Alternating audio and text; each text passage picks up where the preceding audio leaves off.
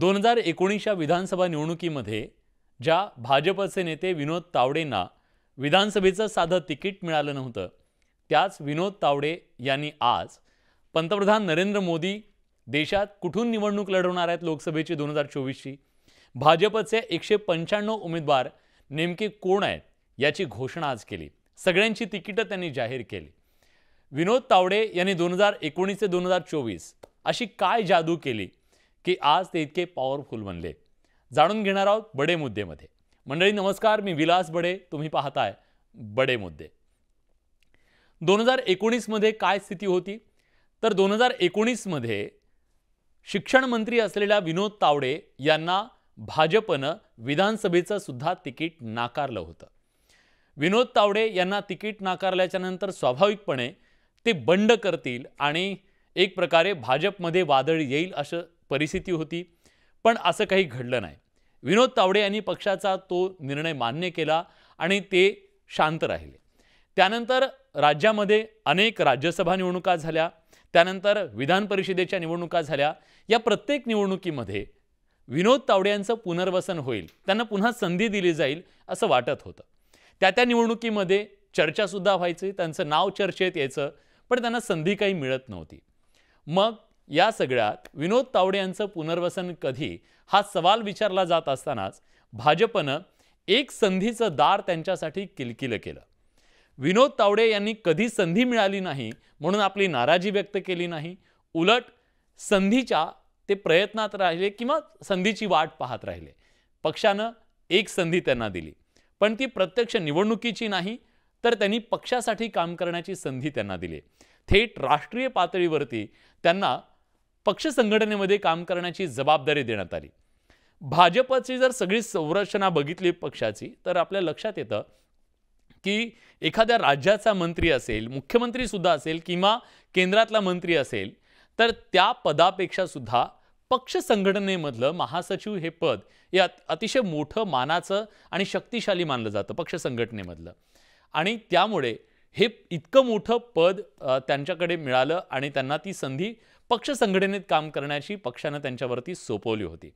स्वाभाविक आहे की ते काम करत असताना केंद्रीय नेतृत्वाच्या सोबत त्यांना काम करण्याची ती संधी होती. महाराष्ट्रामध्ये कधीही प्रत्यक्ष निवडणुकीमध्ये फारसे न दिसणारे विनोद तावडे हे आता पक्ष संघटनेमध्ये एक मोठी जबाबदारी घेऊन थेट दिल्लीत पोहोचलेले होते. आणि मग विनोद तावडे यांच्या नेतृत्वासाठी ती एक मोठी संधी होती आणि विनोद तावडेने तेच केलं. राज्यामधून दिल्लीत गेलेला कुठलाही नेता फारसा दिल्लीत रमत नाही असं म्हटलं जातं. खूप तुरळक अशी उदाहरणं आहेत की दिल्लीमध्ये गेल्यानंतर सुद्धा महाराष्ट्रातल्या नेत्यांनी आपलं ते स्थान बळकट केलं किंवा त्यांचं मन तिथं रमलं. तर विनोद तावडे हे कधी दिल्लीच्या राजकारणात जातील असं वाटलं नव्हतं पण पक्षानं ती जबाबदारी दिली ती शिरसावंद्य मानत त्यांनी काम सुरू केलं. काम सुरू केलं आणि त्याच्यानंतर त्यांना नुसतं काम करू नये तर रिझल्टसुद्धा द्यायचा होता. ऐन लोकसभा निवडणुकीच्या तोंडावरती त्यांच्यावर ही जबाबदारी देण्यात आली होती. पक्ष संघटना मजबूत करणं पक्ष संघटनेमध्ये ऊर्जा निर्माण करणं पक्षाची बांधणी करणं या सगळ्या गोष्टी या महासचिव यांना करायच्या असतात. आणि त्याच दृष्टीनं लोकसभा निवडणुकांच्या तोंडावरच आपल्याला कल्पना आहे की पाच राज्यांच्या विधानसभा निवडणुका झाल्या. या पाच राज्यांच्या विधानसभा निवडणुकीच्या मध्ये आमदारची तिकीटं कुणाला द्यायची? पक्ष संघटनेत काय बदल करायचे ती वेगवेगळ्या जबाबदाऱ्या कुणाला द्यायच्या या सगळ्यामध्ये मोदी आणि शहा या दोघांचा पूर्ण पक्षावरती वर्चस्व आहेच.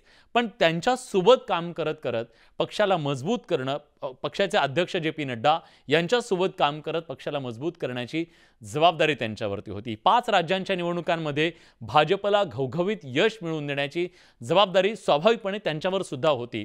आणि या पक्षीय सगळ्या रचनेमध्ये त्यांनी ती जबाबदारी यशस्वीपणे पार पाडताना दिसले. भाजपला लोकसभा निवडणुकांच्या समोर जर पाच राज्यातल्या विधानसभा निवडणुकांमध्ये पराभव पत्करावा लागला असता तर कदाचित आज जे चित्र दिसतंय ते चित्र दिसलं नसतं.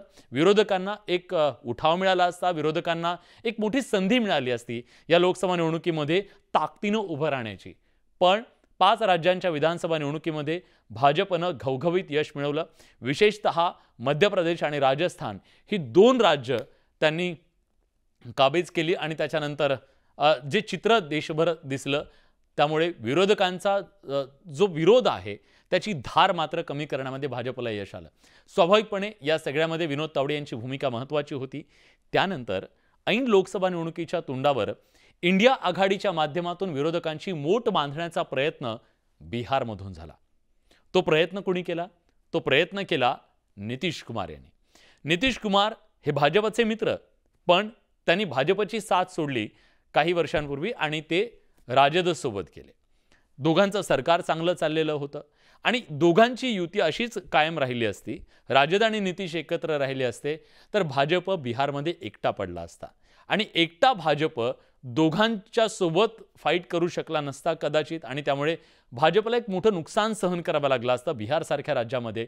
आणि हिंदी बेल्टमध्ये त्याचा परिणाम इ शेजारच्या उत्तर प्रदेश आणि इतर राज्यांवर सुद्धा छत्तीसगड या राज्यांवर होऊ शकला असता. अशा परिस्थितीत बिहारमध्ये पुन्हा सत्ता आणण्याच्यासाठी नितीश कुमार यांना सोबत घेणं.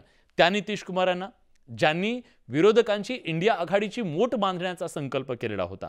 पण ती इंडिया आघाडीची मोठ बांधत असताना नितीश कुमार नाराज होत आहेत नितीश कुमार यांना जे हवं आहे ते तिथं होताना दिसत नाही आहे आणि नितीश कुमारांची ही नाराजी बरोबर हेरून त्यांना पुन्हा आपल्याकडे खेचण्यामध्ये भाजप यशस्वी झालं. ही सगळी रणनीती आखण्यामध्ये किंवा तिथं ही सगळी डिप्लोमसी करण्यामध्ये सुद्धा विनोद तावडे यांची भूमिका महत्त्वाची मानली गेली.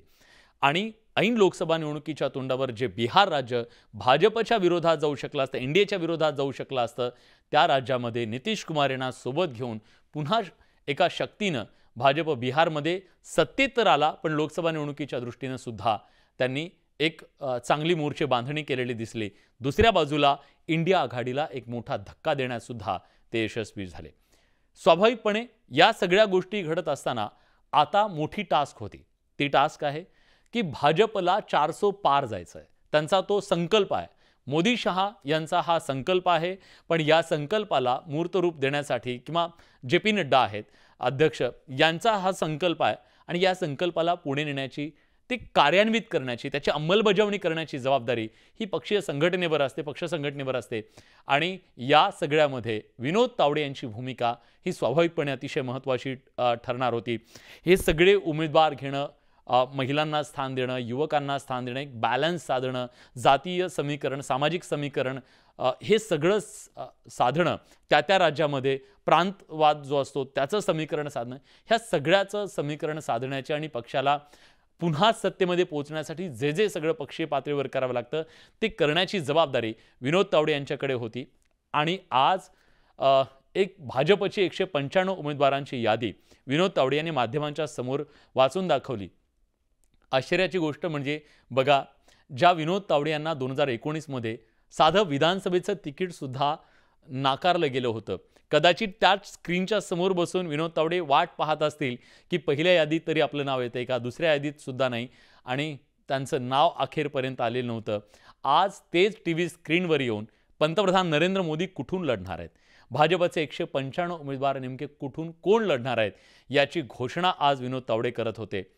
भाजपमध्ये मोदी आणि शहा यांनी सगळी कमान सांभाळल्याच्या नंतर आपल्याला माहिती आहे की भाजपचं तिकीट नेमकं कुणाला मिळणार आहे? त्याचं लॉबिंग वगैरे करण्याचा प्रश्न येत नाही. माध्यमांना सुद्धा त्याच्याबद्दलची माहिती मिळत नाही. ती माहिती असते पंतप्रधान नरेंद्र मोदी अमित शहा पक्षाचे अध्यक्ष जे पी नड्डा आणि चौथी व्यक्ती होती ती म्हणजे विनोद तावडे. त्यांनाच माहीत होतं की भाजपच्या एकशे पंच्याण्णव उमेदवारांची नावं नेमकी कोण आहेत? कुणाला कुठून संधी दिली जाणार आहे? तर हे चौघांमधलं एक नाव महाराष्ट्रातून ज्यांनी नेतृत्व केलं ते विनोद तावडे. तर विनोद तावडेंसाठी निश्चितपणे ही एक मोठी संधी होती. या सगळ्याचं तात्पर्य काय आहे? तर कायम भा भारतीय जनता पक्ष आणि मोदी काँग्रेसवर सातत्यानं टीका करतायत की काँग्रेस ही किंवा इंडिया आघाडीमधले इतर छोटे जे पक्ष आहेत प्रादेशिक पक्ष आहेत ते घराणीशाही चालवणारे पक्ष आहेत आणि त्यांच्यासाठी घराणं महत्त्वाचं आहे. तिथं बाकीच्यांना संधी नाही. हे भारतीय जनमानसावर बिंबवण्याचा ते प्रयत्न करत आहेत आणि आता या कृतीतून म्हणजे विनोद तावडेंच्या कृतीतून सुद्धा भाजप हे बिंबवण्याचा प्रयत्न करतोय की इथं सामान्य कार्यकर्ता जो पक्षासाठी झोकून देतो जो संयम ठेवतो जो संघर्ष करतो त्याला योग्य वेळी संधी मिळू शकते.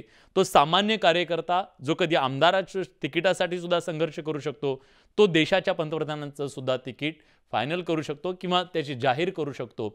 हा एक मेसेज आहे जो मेसेज भाजपमधल्या अनेक नेत्यांना सुद्धा भाजपनं या निमित्तानं केंद्रीय नेतृत्वानं दिलाय असं म्हटलं तर वावगं ठरणार नाही. तात्पर्य एवढंच आहे संघर्षाच्या काळामध्ये जो संयम ठेवतो निष्ठा अढळ ठेवतो. त्याला संधी मिळू शकते.